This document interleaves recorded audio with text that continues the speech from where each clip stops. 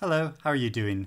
I've been feeling a bit nostalgic for last winter when the new film version of Little Women came out, directed by Greta Gerwig, and I'd never read Little Women before, so I read the book for the first time, which was such a wonderful experience. I know I'm an adult man reading Little Women for the first time, which is slightly odd, but I just loved the experience of it and getting into all of the characters' lives, and um, and then to go see the wonderful film version of it, and Gerwig made made some really smart and interesting choices, I thought, in how she told the story on the screen. And it was just so wonderful. And, you know, it was before 2020 and the whole mess of this year, and, and it just felt like a happier time. So I, and I just happened across this article on Radical Reads of Greta Gerwig's top 10 books, um, her favorite books. And uh, so I, I, you know, I love a book list. So uh, I was going through this list and picking out which ones I've read and which ones I haven't read, and uh, and so I thought I'd talk through it and um, give Greta Gerwig's commentary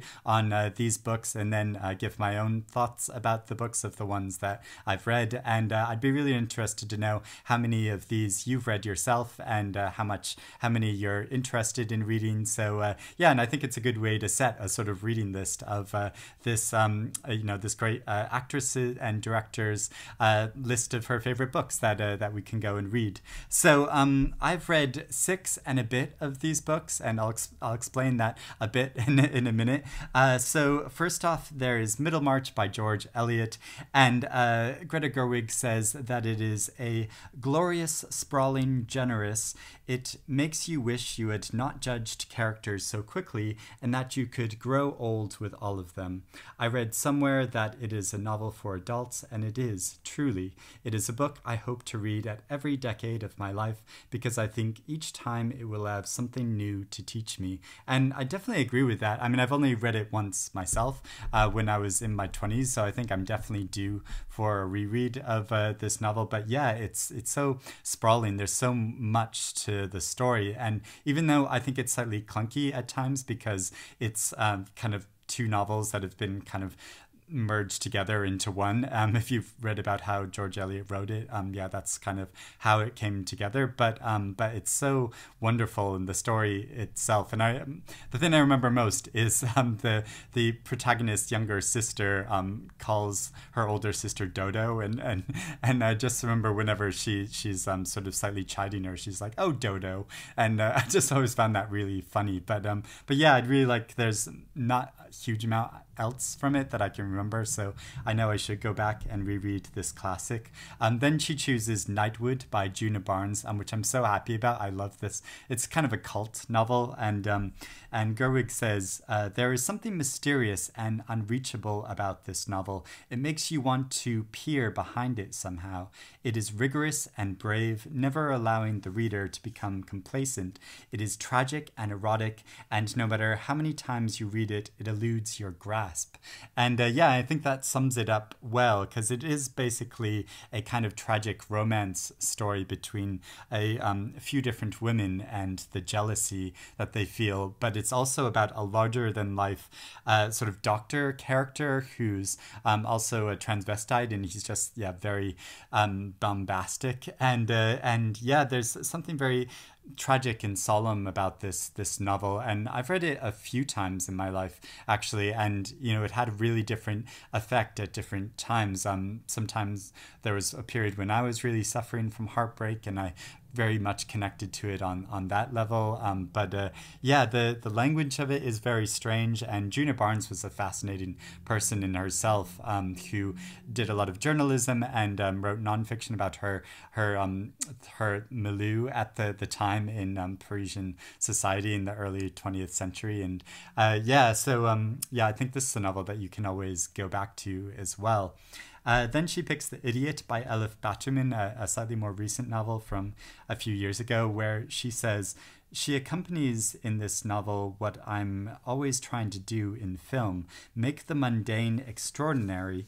Uh, not by adorning it, but by telling it as it is. It combines deadpan humor with romantic yearning and makes you want to read more novels and maybe also try to learn Russian. Um, so I don't know if this novel succeeded in doing that for me and wanting to learn Russian, um, but I and I had very mixed feelings about this novel. I know a lot of people really loved it, and uh, but I just found it was I think it was slightly too long and um, too drawn out. And I mean, I found it slightly humorous and funny, and it's a you know basically a university novel about a wayward young woman who is um, yeah kind of her not sure what she wants to do in life and is just kind of following this meandering path and um, making lots of observations, which are very funny and sort of cunning and, and insightful. But um, but yeah, at the the same time, it just felt too long and drawn out for me. So um, yeah, I did enjoy it, but uh, just um, yeah, not as much as some other people have, I think. Um, then she picks The Death of the Heart by Elizabeth Bowen, um, which I've a novel I've not read. And uh, she says the plot of the novel is woven invisibly under you and pulled out just as you are settling in. It is one of the best novels about a young woman that I've ever read. These moments of transformation and epiphany go by unnoticed by the outside world, but we have the privilege of being in Portia's mind with her as she's trying to figure out exactly how the world is put together and why people do what they do. And uh, yeah, that's a very intriguing description. Um, Elizabeth Bowen is a writer I've never read before, but you know I know she's very much respected, and um, yeah, I've just never got around to reading her. So if you'd recommend Elizabeth Bowen, I'd be really interested um, in the comments below. Uh, then she picks the White Album by Joan Didion, and this novel. Uh, uh, sorry, not a novel. It's a book of essays, and uh, I've read some of the essays, but not all of them. I've just had this for a long period of time, and it's one of those books that I've just sort of dipped in and out of at certain times. And you can see on the sides there's tea stains on it. So uh, yeah, I've had this for quite a while. And um, she says uh, she is my patron saint, and this collection of essays helped me understand the world I was not around for, but that seemed shaped my life.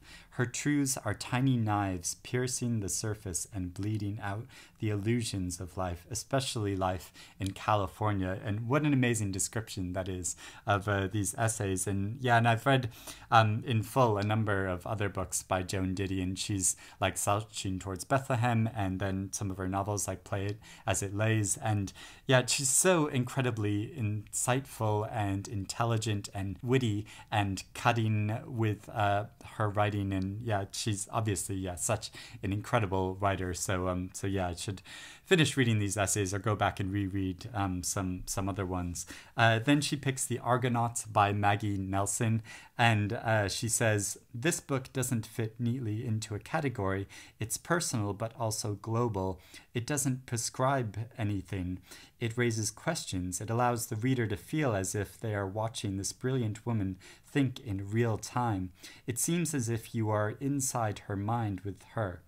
It's funny and sexy and made me cry, and it is one of the best books on being a stepmother I've ever encountered, um, which is a really interesting observation. And, and um, yeah, and, and Nelson's writing is so personal, but at the same time, almost like academic and very incredibly thoughtful in how she approaches her subject matter and the, the sources and references she draws upon to inform her opinions and point of view. And uh, yeah, I thought this book was incredible and just blew me away like it did other people. And I was so glad I got to see Maggie Nelson speak at the Southbank Center a couple of years ago. Um, she was so incredible in person as well. And uh, yeah, just love her writing.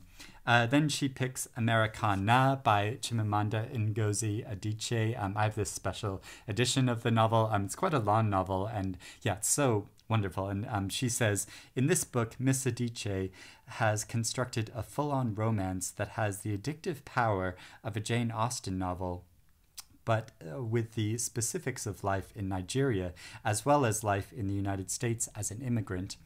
I fell in love with uh, Ifemelu and Obinze uh, in a way that I haven't felt since I was a child reading novels for the first time. And yeah, and I think she she gets that right. It, you know, it has the sort of feel and texture of these classic novels that you just fall in love with, um, but at the same time is about uh, the modern world and subject matter and and um, and yeah, like and a couple from who are from Nigeria and America and uh, yeah, the whole um, struggle of a uh, transnational romance. Then she cites The Dud Avocado by Elaine Dundy, um, which is a novel I don't have a physical copy of, but which I meant to get a copy of because there was a new edition of it recently through uh, Virago Books, and uh, and I known so many people who um, said that this is such a funny and wonderful novel. So um, so yeah, I need to pick up a copy of that. Um, so Gerwig says it is funny, funny, funny. Uh, she's wicked and wise. The main character is a total mess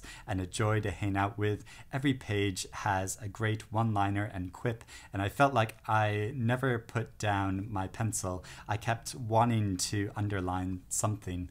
And uh, yeah, I've not read this novel, but it feels like it almost has the texture of like Frances Ha or Mistress America or, you know, something like that. Uh, novel, one of those great uh, films that Gerwig is, has been in. So, um, so yeah, I'd really like to to read this. Um, then she says, uh, her next pick is Lives of Girls and Women by Alice Munro, the great short story writer. And I've read many of Munro's short stories, but I've not read this collection in particular, I don't think. So Gerwig says Alice Munro always gets to the thing inside me that knows with certainty that this is my one life. There is a penetrating sense of ultimate aloneness in her writing, and in just a sentence, she can turn from the present to the future and then all the way into the past, making the reader feel as if they are experiencing the sweep of life as moments accumulate and then double back and reconsider. It presents at first as just a drip, drip, drip, and then before you know it, you're standing in a waterfall. wow, what an amazing description that is of Munro's writing. I think that's totally right. I can't sum it up any better, but yeah, that's exactly how I felt when I've read Alice Munro's short stories before. And yeah, how she gets in a literary way, like the essence of life in that way. I think that's so beautiful and so well put. And uh, then finally, she chooses To the Lighthouse by Virginia Woolf. Um, I have this special edition um, from Vintage Books, um, which are really beautiful uh, editions. And uh, so Gerwig says, A classic for a reason. My mind was warped into a new shape by her prose, and it will never be the same again. The metaphysics she presents in the book are enacted in a way that allowed me to begin to understand that corner of philosophy and yeah that's that's so right because yeah there's almost a like scientific quality to Woolf's beautiful poetic prose, uh, just the yeah the way she is able to encapsulate all these big ideas into this beautiful language is is so incredible. And uh, you know, like I've said before, this isn't my favorite novel by Woolf. I absolutely love Virginia Woolf, but her novel The Waves, I think, is you know my absolute favorite novel of all time. Um, but and when I went back and tried to to read this, um, I found it slightly more um, plotting than I had in the past. I, I think maybe I need to go back and try to, to read it again. I mean, I read it in my early 20s and absolutely loved it. But yeah, just several years ago when I went back to reread it, I, I found it slightly more difficult and um, which yeah is kind of strange because I would think early on in my life I would have found it more difficult but uh, but yeah that's that's just the way that I read it um, but, um, so but yeah I'm sure if I go back and read it again like I went back and reread Orlando uh, a couple of years ago and just fell in love with it again and I'm sure I'd find the the same if I tried to to read to the Lighthouse again so so yeah those are Greta Gerwig's top 10 books um how many of these books have you read and do you agree with her choices and all of her thoughts about them. Uh, let me know in the comments below. And uh, yeah, it's just it's just fun to look at a celebrities list of uh, her favorite And obviously, I really respect Greta Gerwig. So let me know your thoughts, and I'll speak to you again soon. Bye, everyone.